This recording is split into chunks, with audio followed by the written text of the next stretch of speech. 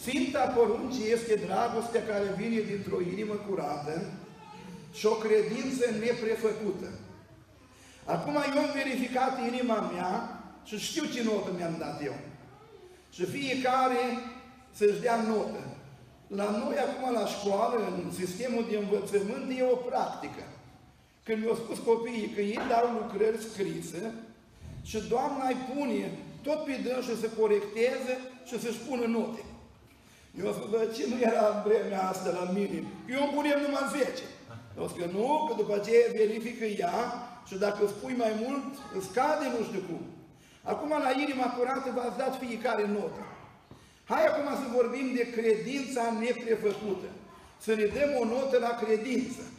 Și să vorbim ceva de credință, că suntem la biserică. Că dacă nu vorbim nici aici, unde? Pe stadion, la primărie, unde să vorbim de credință? Vorbim de credință, da? Ce este credința? Și definiția am citit-o.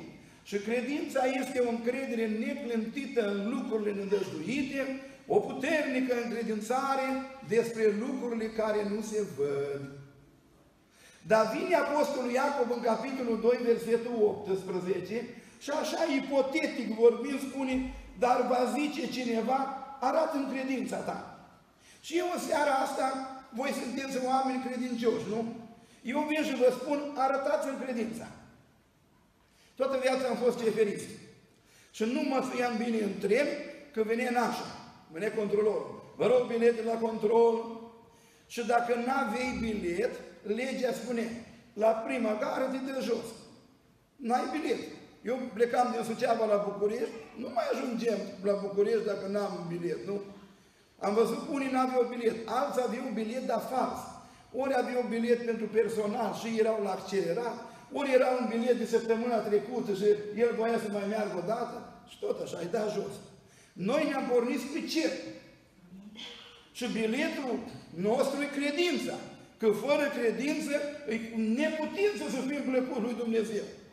Dar vrem să vedem credința noastră e adevărată, e reală sau e credință falsă, credință prefăcută. Și apoi veți spune voi dacă credința nu se vede. Tu cum spui arată în credința? Știți cum e cu credința, așa cum e cu curentul electric? Nu se vede, dar nu vă sfătui să puneți mâna să vedeți dacă este. Curentul nu se vede, dar efectele lui se văd, nu? Ale curentului. Așa e și cu credința. Eu mă uit așa prin adunare să văd dacă aveți credință. În fapte, capitolul 14, versetul 9, predica Apostolul Domnul acolo despre împărăția lui Dumnezeu, era un loc în fața lui. Și spune Biblia, când a văzut că are credință, ca să fie mântuit, eu spus, scoală-te, o văzut că are credință. Credința se vede după cum ascultați, după că sunteți de atent. Credința se vede din faptele voastre. În Luca 5 cu 20 spune că Domnul era într-o casă, predica Evanghelia și era un paralizat acolo în sat. Și au venit patru bărbați, prieteni al lui, l-au pus într-un pat și au vrut să-l ducă la Domnul, dar nu putea ajunge. Nu putea că era aglomerații tare. Eu când am predicat le-am spus, atenție, nu cumva din cauza pocăiților să n-ajungă la adunare ni pocăiță. Că poporul era o piedică. Nu-i lăsa să ajungă la Domnul. Suntem pocăiți, dar ni pocăiți.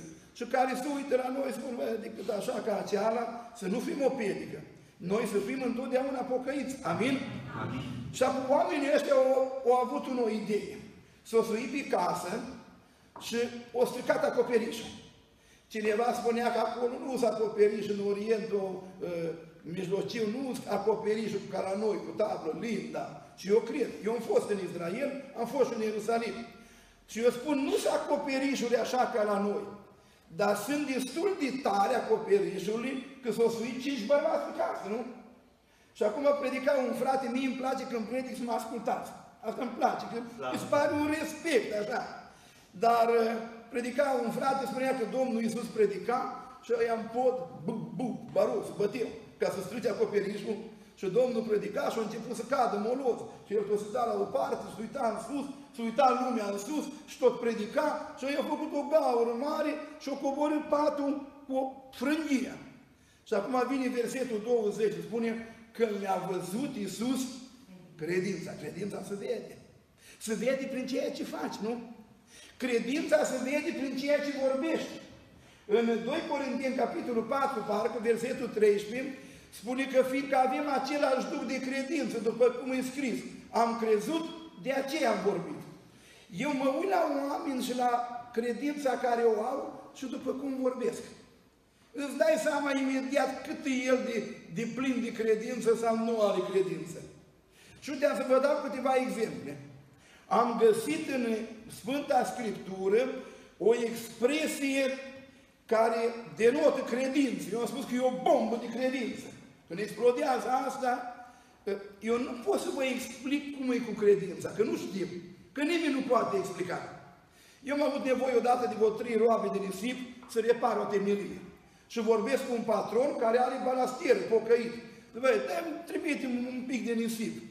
Patronul vorbește cu un puștan de vreo 19 ani și mi-aduce o rabă de cei de 20 de metri cu nisip. Și spune, nea dragul, și unde să o dau? Bă, dar n-am nevoie, mă. Nu știu, m-a spus să o dau jos, eu o dau. Zic, dă-o aici, o dată, mi-o fărămaș în gardă, până e greu. Nu știam ce să fac cu atâta nisip. Dar eu m-am uitat cu o rabă așa din mare, cum o basculat, o apăsat pe un buton, o ieșit un piston, cam așa. Și s-a ridicat în sus, sus, sus și o dat nisipul jos. Eu mă gândeam, dacă aș fi chemat oameni din sat, cam câți bărbați trebuie să chem să vedem dacă putem ridica. Voi ce spuneți? Nu o să putem ridica. Și a spus, băi, ce putere e, e, e, și puterea hidraulică, ce mare forță. Dacă când vorbim de credință, spune Domnul așa, dacă ați avea credință cât un grăunte din muștare, adică cât un grăunte mic, și pui la un munte și când explodează credința, sare munte. A zice muntele, aruncă din mare și s-ar arunca. Cine poate explica? Odată în satul Nila, un frate predicat de vindecările Domnului, că Domnul vindică și are putere. Era acolo o soră, Cermișov o cheamă, o durea capul de multă vreme, mergea la București, făcea analiză, tot schimba tratamentul. Și când predica fratele aceala, eu o crezut. Și când o crezut, eu trecut capul și se duce acasă și nu mai e nicio pastilă o săptămână. A doua duminică vine la adunare, spune fraților, Dumnezeu m-a vindecat. Eu când am auzit, m-am dus la ea acasă. Și am spus, măi, cum te-a vindecat Domnul? Ce-ai făcut? O că am crezut. Mă, dar cum ai crezut? Am crezut tare. Nu, păi tare crez și eu și eu nu mă vindic. Na, cum e cu credința? Credința se vede din faptele care le facem noi și credința eu o văd după cum vorbim noi. Am ales expresia asta, expresia chiar dacă. E o expresie a credinței. Și au folosit oamenii lui Dumnezeu în conjuncturi diferite. De exemplu, parcă în Habacuc, în capitolul 3, versetul 17, spunea omul lui Dumnezeu așa, Chiar dacă vița nu va flori, smochinul nu va da rodul, va lipsi rodul câmpie, oile staul vor pieri și boi în graj, eu tot mă voi bucura în Domnul. Adică el spunea că el are credință și credința nu-i nu legată din lucrurile pământești. Chiar dacă nu mai am oi, nu mai am boi, nu mai am grâu, eu tot mă bucur în Domnul. Știți că unii oameni au credință și se bucură în Domnul când au de lucru când îi plătește patronul bine, că n-au mașină bună, că n-au asigurată pensie bună, cred în Dumnezeu. Dar asta nu-i mai credință. Vine omul lui Dumnezeu, spune, măi, eu ori sunt bogat, ori sărac, eu tot cred în Dumnezeu. Așa suntem și noi? Doamne ajută! Doamne ajută-ne! Credința noastră nu e legată de bogăția noastră, nu, nu, e legată de Dumnezeu. Eu mă bucur ori de slăbând, ori de sătur. Putem așa? Da. Ei, asta e credința adevărată. Asta e credința neprefăcută. Și mai luăm o situație mai grea decât sărăcia. Spunea Iov în capitolul 19, eu știu că spunea el, dacă mi s-ar scrie durerea cu într-o carte, după aia eu spus nu, dacă ar fi săpată cu un privoi de, de fier pe stâncă, în plumb. Dar eu știu că răscumpărătorul meu trăiește și versetul 25 spune așa, Chiar dacă îmi va fi nimicită pielea și dacă nu voi mai avea carne, eu totuși voi vedea pe Dumnezeu. Ochii mei îl vor vedea și nu ai altuia și El se va arăta binevoitor și sufletul meu tânjește de dorul ăsta. Ăsta era bolnav. Și a spus, eu ori sănătos, ori bolnav, eu tot cred în Dumnezeu. Așa suntem și noi? Doamne ajută! Doamne ajută-ne! Așa să fim. Că e o situație rea când e sărac, dar e o situație mai rea când ești bolnav. Dar oamenii ăștia au spus, eu cred în Dumnezeu. Ori sărac, ori bogat, ori sănătos, ori bolnav, eu tot cred în Dumnezeu. Și mai este o, o situație mai grea decât primele două. În Mica, în capitolul 7, versetul 8, spunea prorocul așa, Nu te bucura de mine vrășmașă, că chiar dacă am căzut, iarăși mă voi ridica. Știi că ăia care cad din pocăință sunt mai răi ca ăia săraci bolnavi? E o situație mai rea. Dar așa avea un curaj și a spus, eu chiar dacă am căzut, iarăși mă voi ridica. Chiar dacă locuiesc în întuneric, Domnul e lumina mea. Acum sunt pedepsit că am păcătuit, dar Domnul iarăși mă va ridica. Nu știu, sunt aici care au căzut din pocăință? Dacă sunt, e foarte grav. Dar în seara asta trebuie să ne dea Domnul credință și să spun, chiar dacă am căzut, iarăși mă ridic, Doamne ajută în asta. Și apoi vorbim de căderi din har, căderi din slujbă, căderi de oboseală, spunea în Galatin, vom secera dacă nu vom cădea de oboseală. Sunt unii cad de oboseală. Doamne, nu mai vreau să predic, nu mai pun de la cântat, m-am săturat. Asta e o cădere de oboseală. Eu rog pe Domnul să ridice în seara asta pe toți. Amin? Amin, amin. Să ne dea credința asta. Amin. Și apoi în Daniel, în Valea Dură, un chip înalt, un cuptor aprins, o poruncă aspră, toată lumea se închine la, la idolul ăsta. Și Hanania, Mișael și Azarea stau așa drept. Și îi părește la împărat și spune, oare Nadin, Shadrach, Meșac și Abednego nu v-ați închinat? Păi eu pot să vă arunc în foc. Și acum a venit Daniel, capitolul 3, versetul 17 și 18. Asupra celor de mai sus împărate, nu avem nevoie să-ți răspundem. Că Dumnezeul nostru poate să ne scape și ne va scăpa. Dar acum atenție! Și chiar dacă nu ne scapă, noi tot nu ne închinăm. Să ne dea Domnul credința asta. Amin?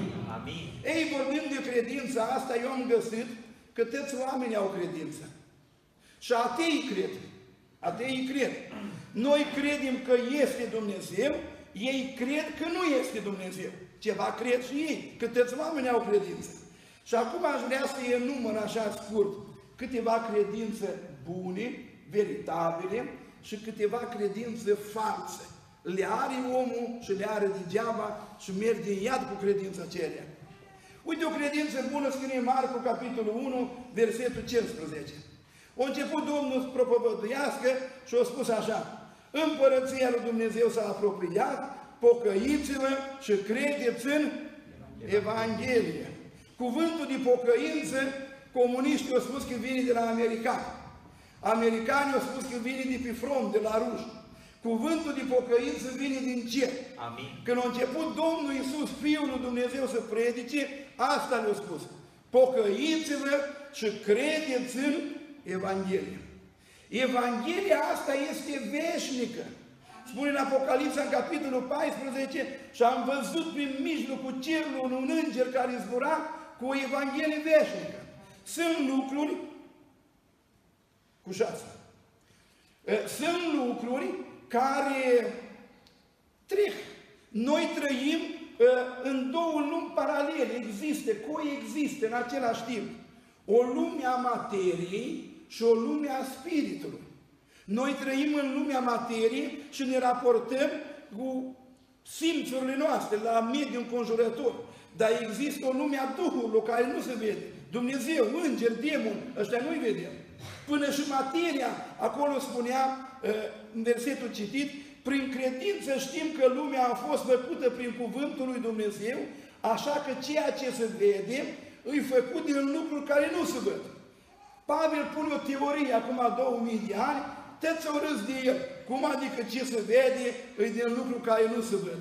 Și au venit mai târziu la Voisin și Marie Curie și alți savanți și au descoperit microscopul și au cercetat starea de agregare a materiei. Au spus că materia e din molecule. Moleculele sunt din atom. Atomii au niște particule, proton și neutron. Și acum eu vă spun, arătați-mi protonii la amvonul ăsta. Îi vedeți? Că astea nu se văd cu ochiul liber. Și Pavel a spus că tot ce se vede e din lucru care nu se văd. Slăvit să fie Domnul, amin? Două lumi paralele. O lume a substanței, a materiei și condamnată să ardă.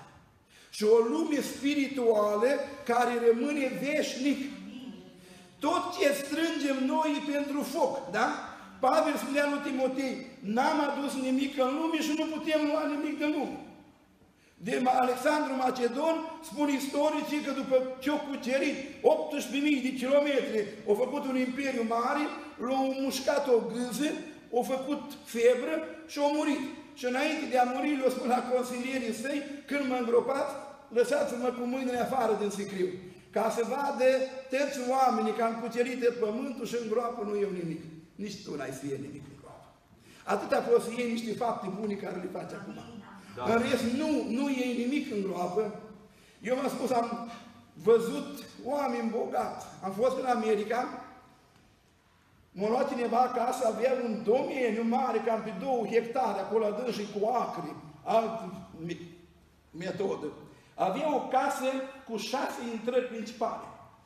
O fântână, artiziene, garaj, de unde vinei, așa ca, o, ca un soare cu rază. Aici o să acolo, șase intrări principale. Eu m-am dus cu un frate în Ocăjit de acolo, din la Suceava, de o 70 de ani. O frate dragul, bine să spun unde camera ta. Și mi-a dat camera mea, uite aici, am pus o valiză acolo, am scos costumul, că hai de jos să mâncați.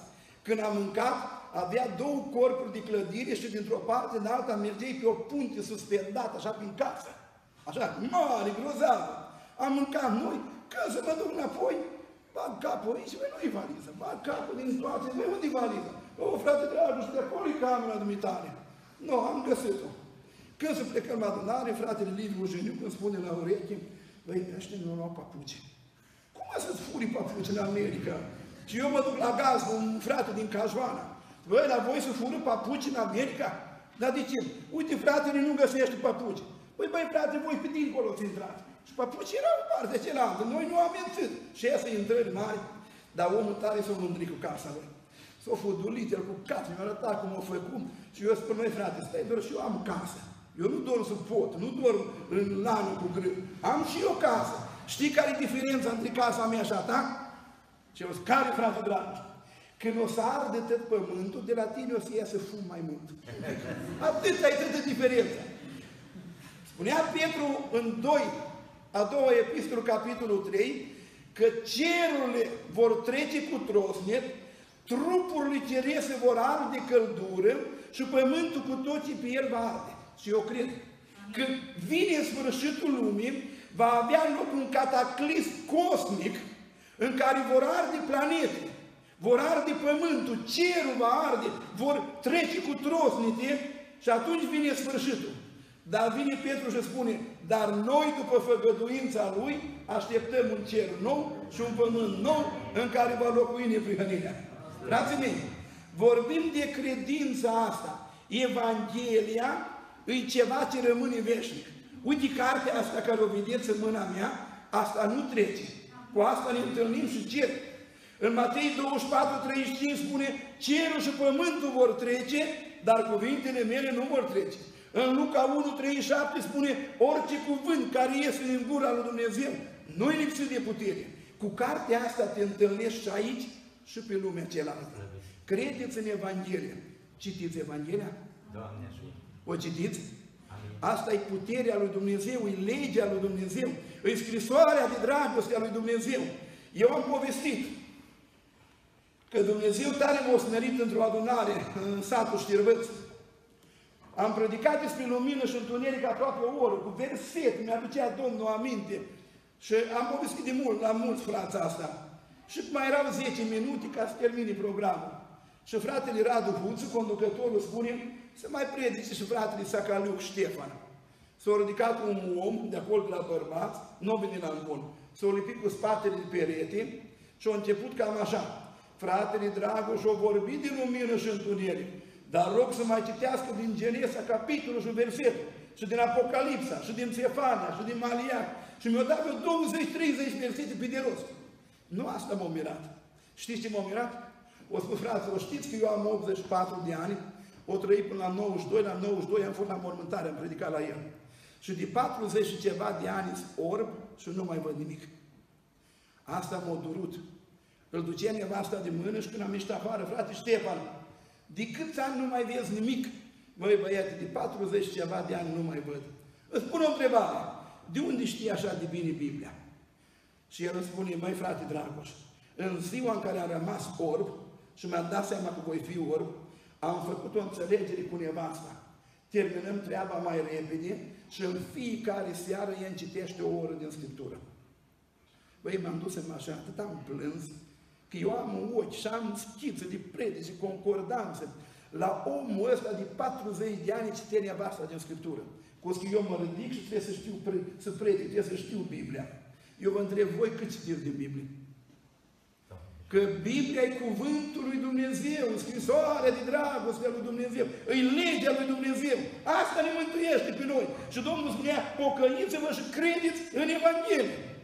Că asta nu trece, asta rămâne. Să ne dea Domnul drag să citim Evanghelia. Amin.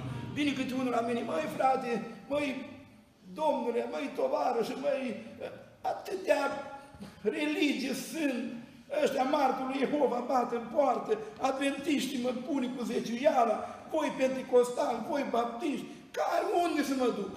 Și eu spun, știi unde? Citește în Biblie și ce înțelegi acolo du-te. Ai credință adevărată, dar citește tu în Biblie. Asta trebuie să faci. Să citești în Biblie și ce te luminează Domnul, ce e să faci? Asta e credința adevărată. Da. Eu dacă spun veni la Pentecostal, sau ortodox, dacă spun nu să... Deci nu trimit pe nimeni la mine. Credința adevărată să crezi în Domnul Isus.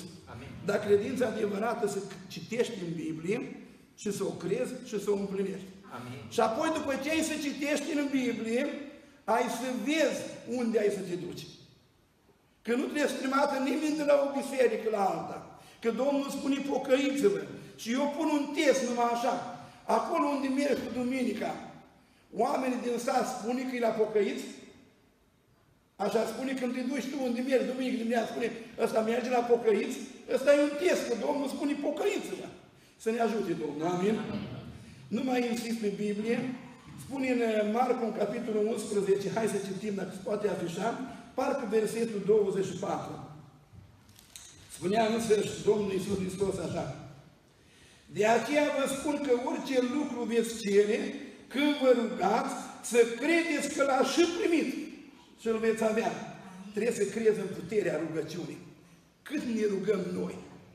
Eu mă rog foarte puțin și uite pun capul în jos și mi-e rușine. Dar tu, dimineața un tatăl nostru, dacă îl spunem, dar dacă nu întârziem la lucru, seara obosit, nu știu dacă ne mai rugăm, ziua cât vă rugați. Că Domnul spunea, măi, când ai o nevoie, ai un necaz, când te duci să te rogi, acum crede că ai și primit și vei avea asta. Trebuie să crezi în puterea rugăciunii. Da. Și dacă cineva din seara asta își propune să citească în Biblie, eu plec bucuros acasă. Da. Și dacă cineva din seara asta își propune să se roage un pic mai mult, iar plec bucuros acasă. Amin. Își propune cineva? Amin. Și apoi în Evrei 11 cu 6 trec mai repede, că și timpul se duce, că cine se apropie de Dumnezeu trebuie să creadă că El este și că răsplătește pe cei ce îl caută. Trebuie să încrezi în răsplățile Domnului.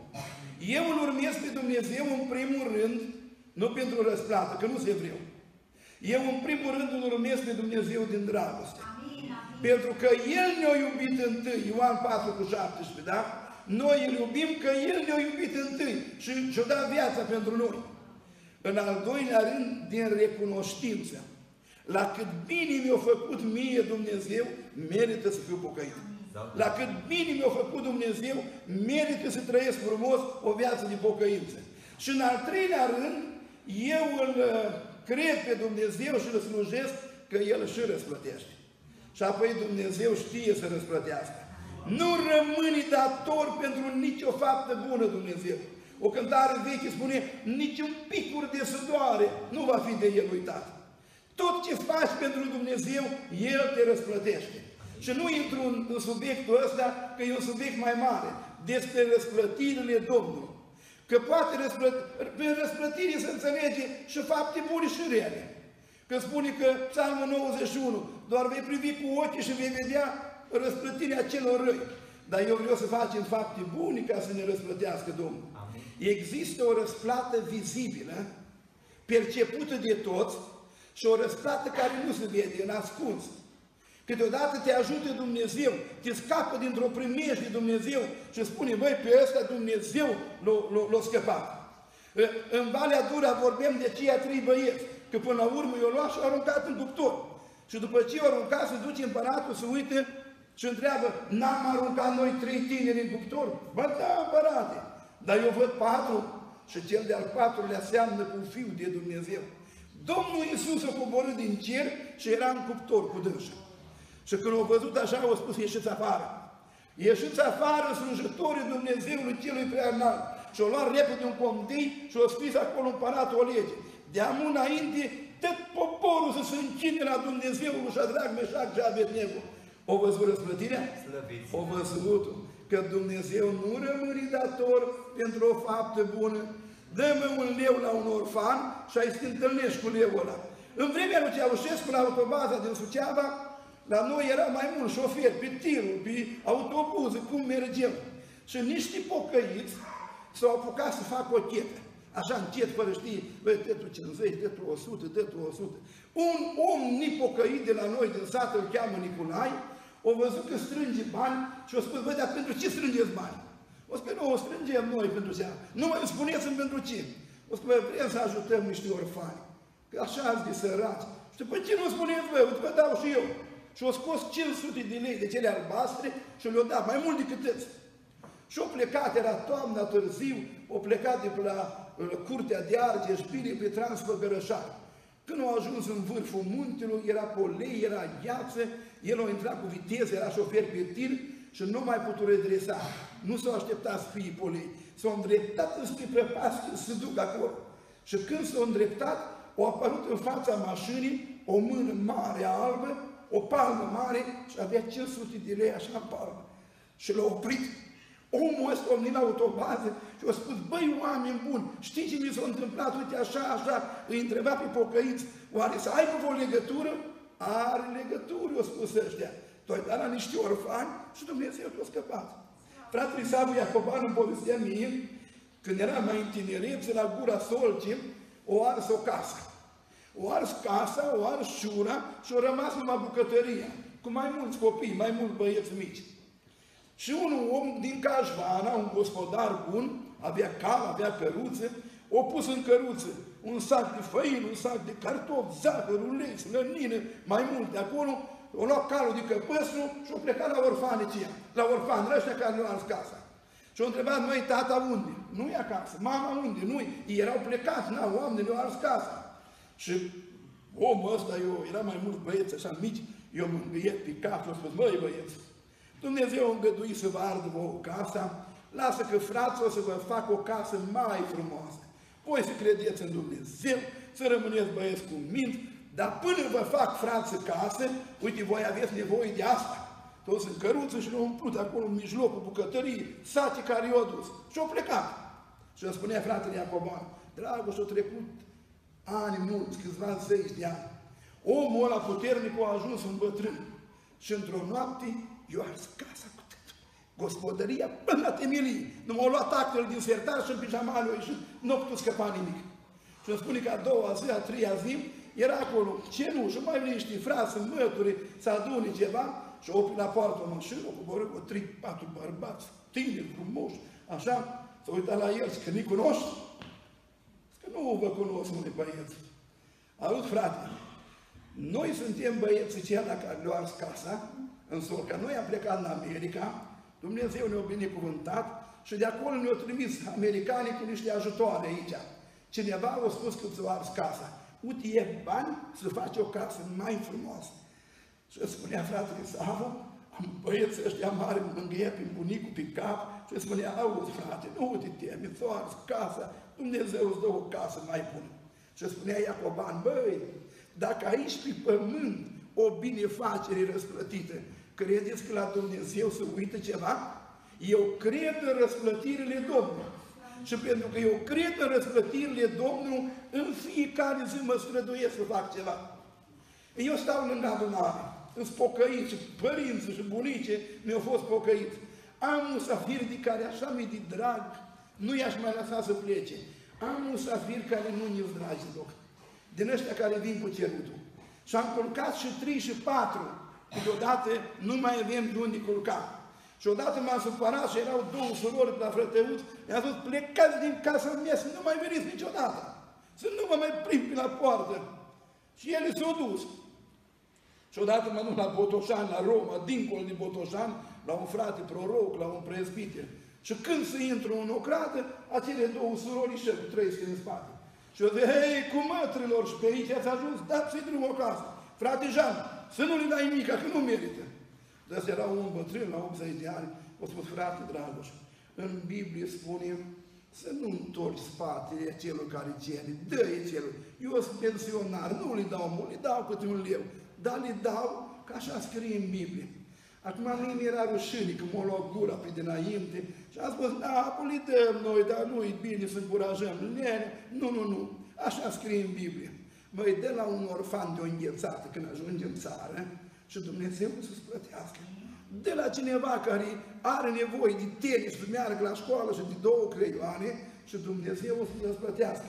Eu cred în răsplătirile Domnului. De ce în viața mea m-a ajutat Dumnezeu, nu Sfânt.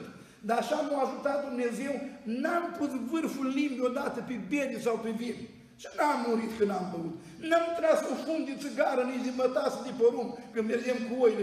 Și uite că trăiesc în ziua de azi.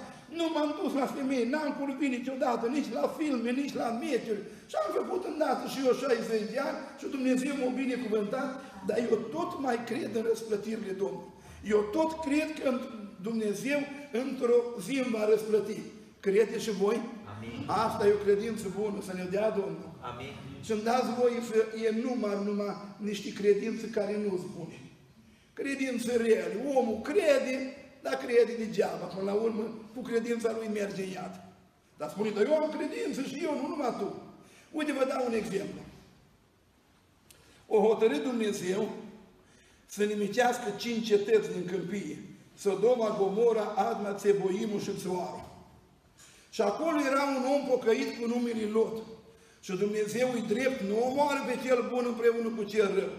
Și au trimis doi îngeri la Lot și au spus, Lot, mâine dimineață aici plouă foc și pucioase și toți oamenii ăștia mor. Tu ești cu casa ta, pe cine mai ai? Fete, nevastă, ă, gineri, nurori, scoate afară pe toți. Și spune Scriptura în Genesa 19 că s-au dus la gineri și au spus, măi băieți, mâine dimineața arde cetatea.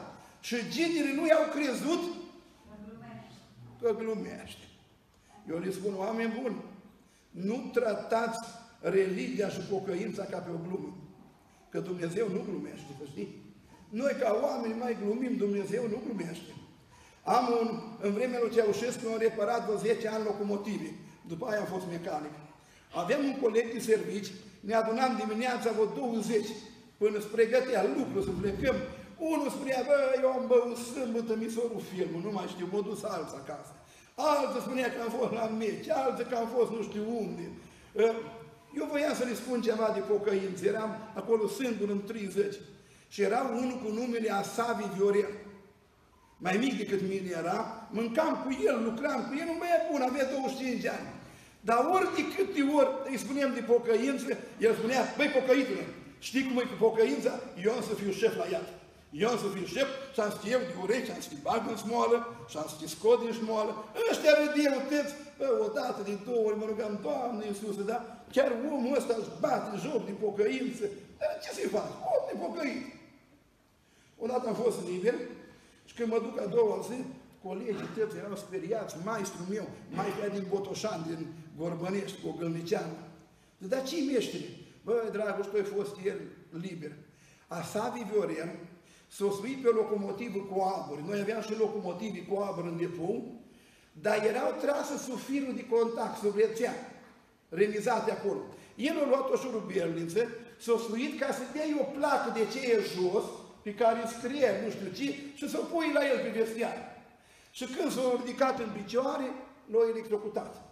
O luat focul, căzut jos, eu spun, maestre, hai mă duc până la spital. N-a am dat salopeta jos, am luat hainele bune, când mă duc, ajung pe hol, spitalul mare, 50 de metri cât are, spitalul județean.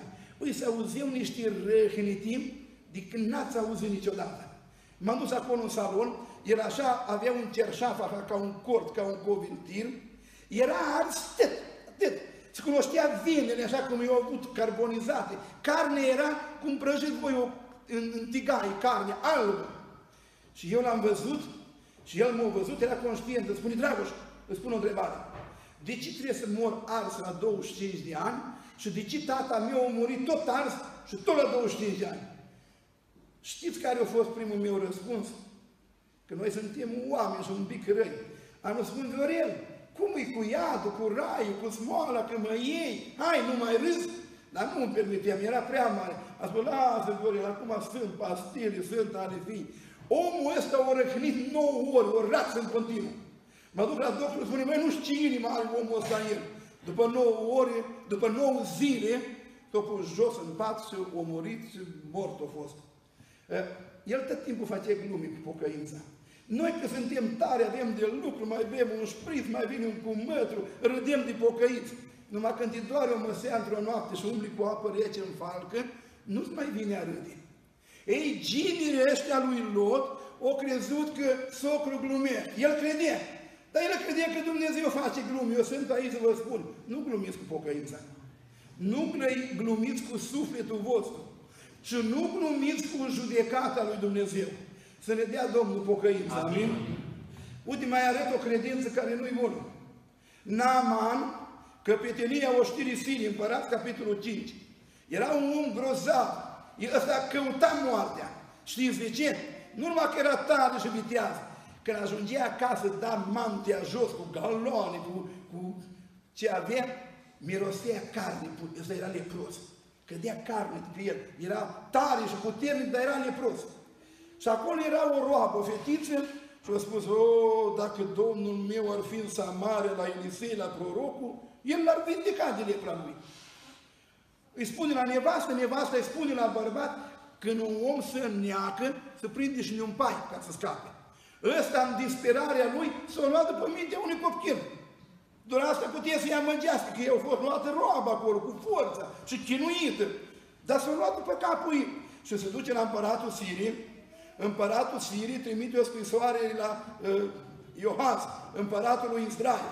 Îți trimit pe robul meu să-l vindeci de lepră. Împăratul când citește, pune mâini, își rupe hainele, băieți, avem război. Ăsta vrea război, ce o Dumnezeu să-l vindec de, de lepra lui? Dar Elisei îi spune, lasă-l să vină la mine, să vadă că este un Dumnezeu în Israel. Și îl trimite la Elisei. Au calculat oamenii că darurile care le avea Neaman erau aproape la 3 milioane și ceva de euro, acum, actual. Că scrie talanți de aur, argint, haine, tot. Și se duce la Elisei la poartă, ministru de război, cu bogății, cu caravană după dânsul, Elisei nici nu iese la poartă. Mă, nici eu nu l-am înțeles pe ăsta. La noi dacă vine la adunare câte un senator, câte un primar, că trăiți un primar, poftim, ăsta e primar, ăsta e o candidat de nu știu ce. Ăsta vine căpetelia oștirii cu darul și cu aur și argint și Elisei nu iese să-l vadă. Trimite o slugă și îi spune, ă, du-te și te scaldă în apa Iordanului de șapte ori și ai să fii vindecat. Ăsta așa se îmbânie, nu era bana și parpara apele Damascului mai bune ca Iordanul. Și se duce acasă mânios, dar vine un slujitor și spune, împărate, dacă ți-ar fi cerut un lucru greu, nu l-ai fi făcut? Ăsta voia să facă, dar ceva greu. Noi credem că mântuirea ai mântuire, dar greu, greu. Trebuie să iau trai, sta în spate, să cutreier munți, la mănăstiri. La Hașcadar, lângă mine, este o mănăstire, mănăstirea dorințelor. Dacă ai o dorință, trebuie să o înconjori de trei ori pe genunchi, să vezi studenți eleganti, cu, cu cu genunchi ca să reușească la facultate, lumi în toate și în genunchi. Asta e mântuire. Dar mântuirea nu e așa. Mântuirea e mult mai simplă. Crezi în Domnul Isus, accepti pocăința și botezul și ești mântuit. Și Naaman spunea așa, eu credeam, că el credea, dacă știți acolo în 5 cu 11, eu credeam că o să vină la mine, o să cerceteze rana, o să cheme numele Dumnezeului său, el s-a dus, el credea. Numai că credința lui nu era bună. El credea într-o vindecare regizată de el, orchestrată de el. Oamenii cred că Domnul îi ajută, dar cum vreau ei. Eu cred că Domnul mă vindică, dar așa. Eu cred că Domnul mă mântuiește, dar cum gândesc eu. Dar la Dumnezeu nu merge așa. Mântuirea cum gândește Dumnezeu, Amin. nu cum o gândim noi. Credința asta în Dumnezeu, noi vrem Dumnezeu să ne ajute, dar cum vrem noi. Asta nu e o credință bună. Noi trebuie să ne pocăim după cum scrie în Scriptură. Amin. Doamne ajută din asta. Amin. Și mai citim în Iacov capitolul câte 1 cu versetul 26, ăsta cuvântul și citim, și Biblia vine și spune așa. Dacă crede cineva că este religios, sunt oameni care cred și eu sunt religios, dar nu își înfrânează limba, ci își înșală inima, religiunea unei astfel de om zadarnică. Adică eu cred că sunt religios, dar nu mă înfrânez limba. Mint, prostii, înjurături, tot felul de minciuni. Ce credință asta? Dacă crede cineva că e religios, dar nu își înfrânează limba și înșală inima, religiunea, religi... credința asta e zadarnică.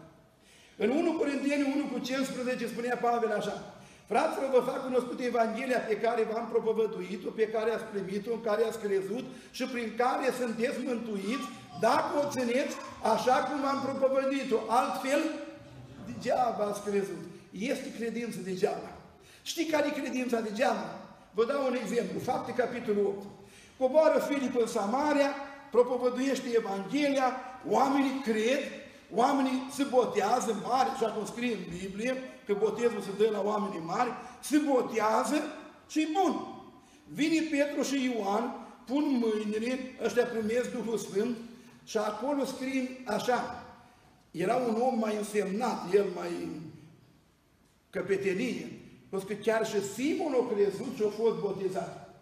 Dacă nu a văzut pe apostol că pun mâinile, o dat bani și le-a spus, dați-mi puterea asta. Peste cine îmi pune o mâine să, să primească Duhul Sfânt?